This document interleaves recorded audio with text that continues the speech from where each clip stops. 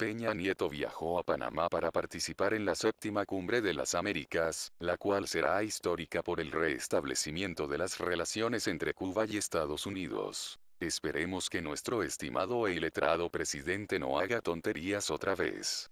A continuación las palabras de Peña Nieto a su llegada. Soy seguro de que esta será una eh, cumbre verdaderamente exitosa porque creo que habrá de generar nuevos hitos en la historia de toda América, la oportunidad de concretar una mayor hermandad, mayor acercamiento, nuevos, nuevas vías de comunicación, de entendimiento, de diálogo, de acercamiento y sobre todo de procurar generar a partir del acuerdo prosperidad para nuestros pueblos.